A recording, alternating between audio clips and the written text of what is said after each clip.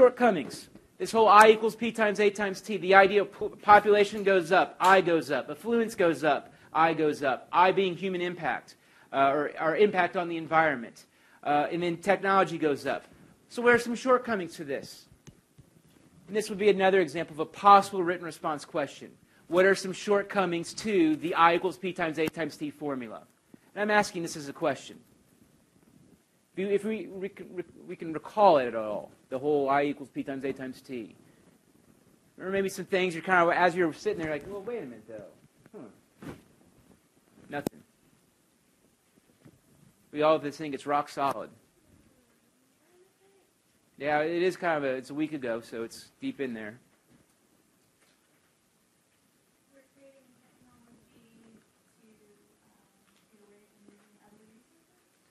Exactly, and so the idea of we have the high levels of technology where we could come up with all these various gizmos and gadgets to actually lessen our human impact on the environment.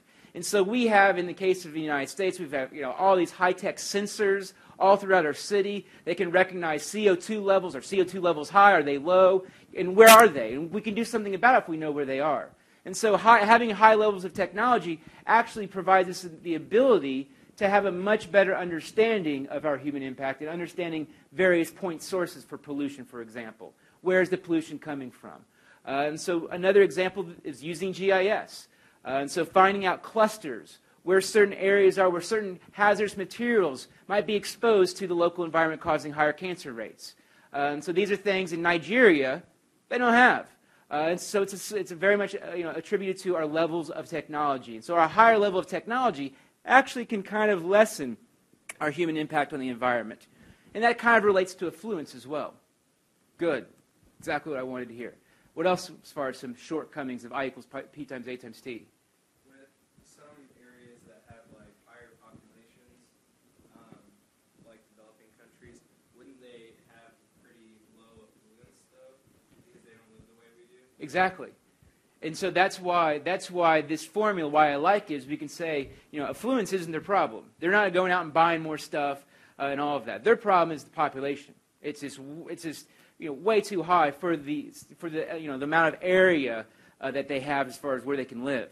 Uh, so you're finding in Nigeria, that's where it's even you know it's throughout much of Africa. It's very much uh, these guys right here would tell you uh, the two guys that were here earlier. Uh, it's it's dire straits. What else we got?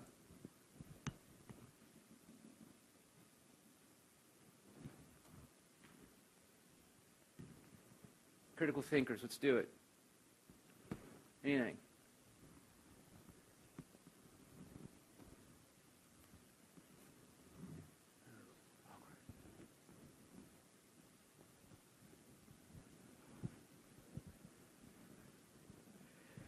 So we think about the United States.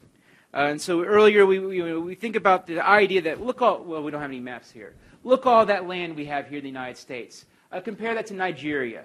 Look how much Nigeria. Nigeria has hardly any land. Uh, we've got all this space. And so we could set aside parks. We could set aside large areas and conserve those areas, preserve. Uh, in, in, Nigeria, uh, exotic animals or humans? Who's going to win? Humans, big time. Uh, and so when we think about in, in, you know, Nigeria, one of the key things is um, they're, you know, they have nowhere to, to, to, set aside parks to protect their endangered species. There's nothing like that there. Uh, further, Burma. Uh, Burma is one of the poorest places in the world.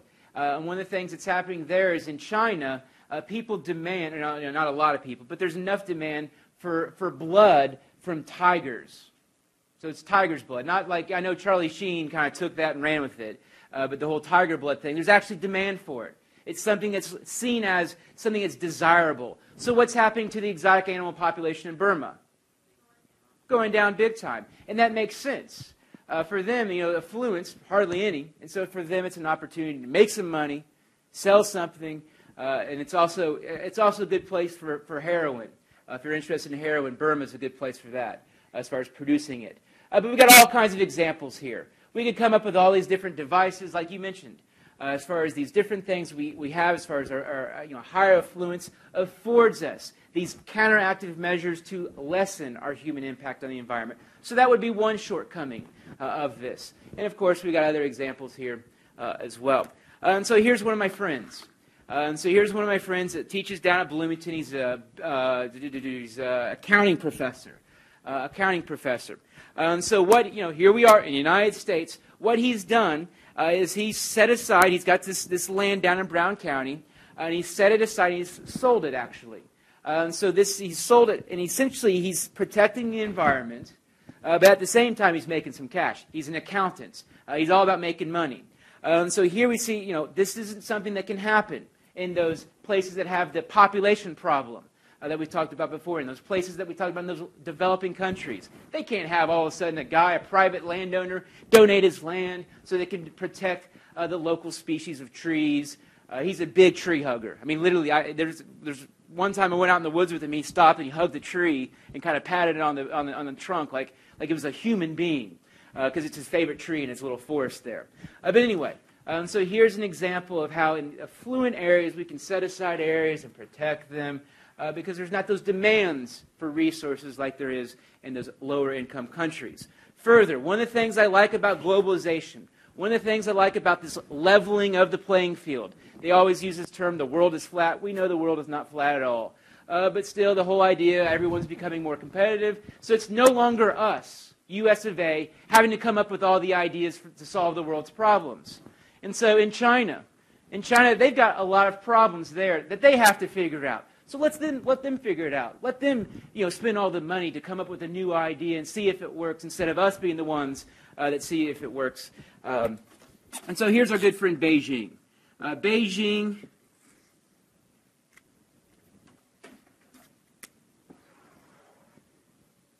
This is Beijing. Uh, how is this Beijing? Uh, Beijing, they are building their sixth I 465.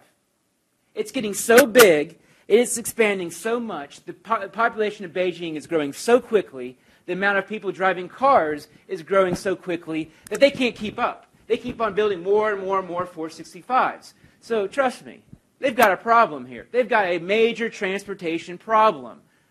So here's what they're kind of one of the ideas they're kicking around. We've got these highways, we've got these built up roads. Let's essentially maximize our space by having a double, or sorry, a, a, a, essentially a train that rides just above the highway. That's pretty far out idea. That's a level of affluence. Once again, I'm not going to pick, or let's pick on uh, Botswana uh, or, or, or Liberia. They're not going to be the ones coming up with these ideas. And so this is why I like globalization. I like the idea of other people coming up with solutions uh, and trying to, and then us, of course, copying it. The world's been doing that to us our, whole, uh, our whole last 60, 70 years. Further, local solutions to local problems. Here, once again, affluence, solar panel technology. Um, so it's another thing that affluence provides is these levels of technologies to counteract, to lessen our human, human impact on the environment. So no longer using renewable, or sorry, non-renewable resources, coal, oil, uh, things that emit CO2, the cleanest as you can get. This is probably the most ideal. However, as we note, uh, local solutions to local problems. In Indiana, yeah, we got a nice sunny day out here, but it's nothing like you would find out in the Great Plains, nothing like you would find in those various climate regions I talked about that have uh, you know, higher days of sunlight. And so in Spain, southwest United States, Mediterranean climates, it makes a whole lot of sense for them to use solar technologies, where in the Great Plains, they use wind technology. Now, Indiana, one of the things is we're seeing if you go north on 65, what do you see north of Lafayette? Nothing but windmills. Uh, and that's kind of one of those deals where eh, it's not doing a whole lot. Uh, all that is is you got a lot of farmers who are trying to maximize the, money, amount of money they make from their land. Uh, and so they're just adding windmills to add another income source. Uh, Indiana, we don't produce that much wind. If we do, it's going to be in the northern part of the state for the various reasons we mentioned earlier in this class. Uh, probably the most ideal would be that prairie area, Benton County, uh, from the Geography of Soils lecture. Pretty much the only area where actually wind is you know, powerful enough. Actually, where wind's the strongest is Lake Michigan. Uh, but of course, putting windmills in Lake Michigan and birds and all of that. Uh, anyway, uh, birds don't like windmills because propellers kind of suck when you run into them. At least that's what I've heard. All right, uh, continue on. Higher levels of technology kind of relates to the one that we just talked about uh, can actually uh, waste fewer renewable resources. And so we can use this as an example here in the United States. And I got some statistics to kind of, you know, I hope showcase this whole idea of us over time wasting fewer resources. Uh, with the key idea of recycling. Recycling. And recycling 30 years ago, uh, it was you know, maybe a few people who did it. Uh, you know, it was hardly anyone. Now, about half of us recycle. Uh, you know, you look at these recycling bins on campus, they're all over the place. And for the most part, they're full. Uh, and so they're pretty full. And these are things, 20 years ago, if we were on this campus, you would seen none of this. Uh, and so there, right there, could be a you know, example of us over time coming up with solutions to our problems. Uh, and so uh, creating less waste. Uh, and so some evidence I'll show of this is uh, as far as our, our number of landfills are actually getting smaller. Um, there's less of them, I should say. There's less landfills, and so we're getting better as far as using our, our, our, resources, using our, you know, the products. We're not essentially just dumping them back uh, into um, a landfill. We're reusing a whole lot more. And a lot of companies, once again, making money, that's when these things become, uh, you know, actually, you know, when things actually happen, we can make some money. Uh, and so a lot of companies are buying scrap, me- scrap metals, for example, and then taking those scrap metals, turning them into something new.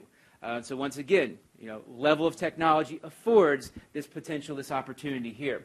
Uh, and so percent of USA garbage recycled, 1960 only 6.4, today 36. And so, you know, pat ourselves on the back. We are getting better, let's say.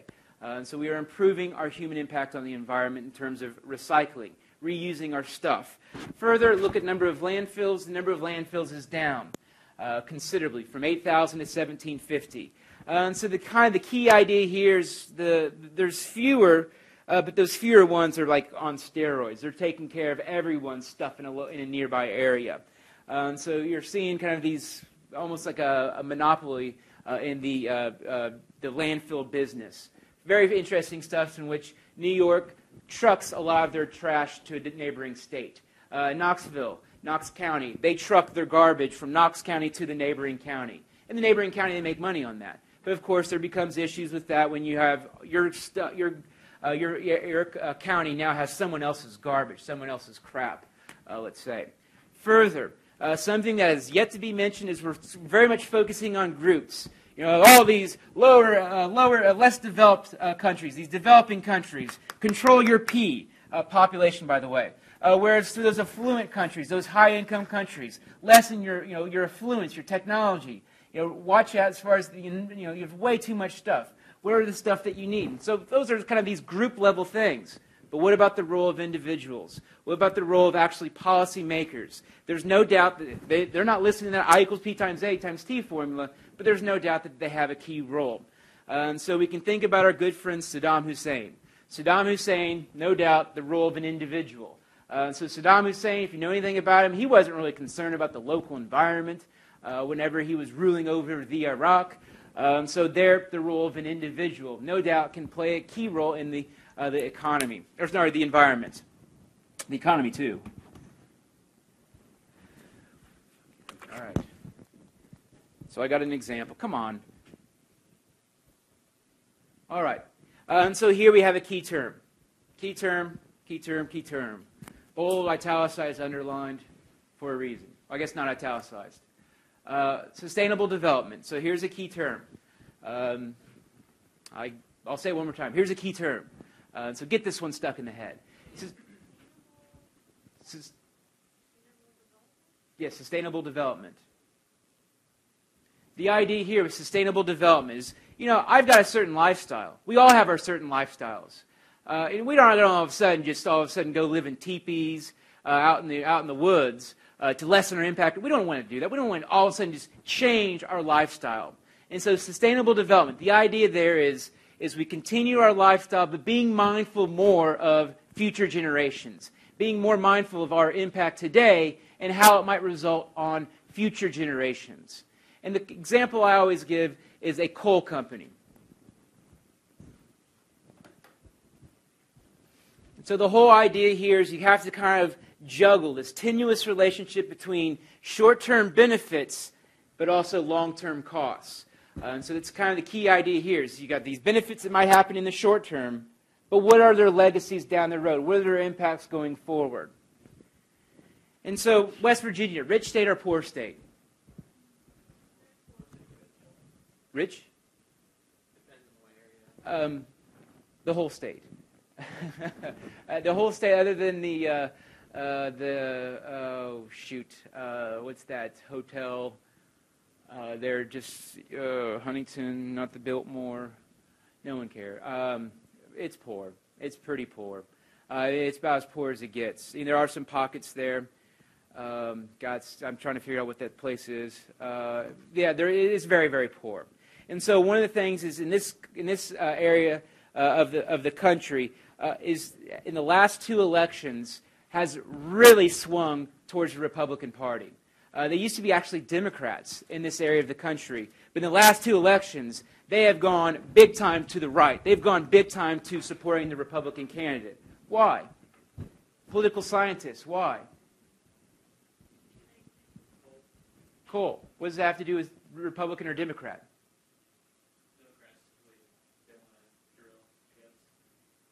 Democrats want to drill? They don't. Yeah, exactly. And so it's not so much that Democrats or the Democratic Party is against coal, they're just more pro other sources of energy, using other sources of energy. Where Republicans are a little bit more, hey, it's domestic, let's use it. Uh, it's here, we don't have to rely on someone else. And so there's both sides to that argument, we understand. But here in West Virginia, coal is number one. Uh, and so here is, you know, it's the number one economy. There's no really tourism. Uh, there's really no uh, banking. Uh, there's really no educate. It, it's, just, it's just coal. And so here in these places, here I am, I got a town. It's just absolutely economically depressed. I know someone that's big and tied with King Coal. I know someone which I, you know, I'm very well connected to coal, the coal industry. And so here I am, I get elected. I run on this platform in this local West Virginia town that I'm going to bring jobs. And I'm going to bring jobs via the coal industry. And so this is great. The people are all happy. Short term benefit. 20,000 jobs here. No longer do we have economically repressed. We've got people moving to our area just because of these jobs available. So all things are great in the short term. However, 20 years down the road, I've got tons of my, my local population with black lung disease. My healthcare costs are through the roof because of all these people having to go to take care of these respiratory illnesses from breathing in all that coal. And so, right there is an example of sustainable development. Those short-term, those short, things are great. Uh, the economy really jumped, but the long-term negative impacts, those are what we think about sustainable development. So, being mindful of those long-term impacts while making these, you know, these uh, initial decisions here. And so attracting a new coal plant, uh, you know, it's great. I got elected, but 20 years down the road, they'll probably be kicking that statue down as everyone of me, uh, as everyone here has black lung disease, lung cancer, dying at a younger age, uh, and so forth. Uh, and so here's our good friend Saddam Hussein. Uh, so Saddam Hussein, what he did was essentially he just dried up this area. This area here is known as the Fertile Crescent. They really bore you to tears. If you're bored right now, you're really bored when they talk about the Fertile Crescent in history class. I guarantee it. And so here we see the Euphrates and the Tigris River. They come together. This is one of the first areas of the world that had population settlement. Population actually clustered in this area. It was because it's nothing but deserts, nothing but freaking sand here. But all of a sudden you have these rivers that come through and provide all this water for agriculture. And but wait a minute, it's not green. Why is it not green? Uh, because Saddam Hussein was pissed off at these people who lived here. And so he got pissed off at him. I don't care if my language sucks. I don't care. Uh, it's the last day. And so this area here became brown because Saddam Hussein essentially filled up all the rivers, dammed everything up, and said, You people, now you're going to have to suffer. Uh, you don't agree with me. You're not like me. Uh, you're, not, you're, not, you're not helping me out. So I'm just going to essentially just suck off all the water, siphon it off. And now here, we can no doubt see the impact of an individual person. Uh, so once again, the IPAT formula never factors in individuals, like that guy who you know, got elected in West Virginia, or in this case, uh, Saddam Hussein. Anyway, we'll come back to that uh, photo, trust me. Anybody military here? Military? All right, culture. Does culture play a role? I don't see a C in here. I don't see a C in the I equals P times A times C. Does culture play a role? How so? Okay. Christine.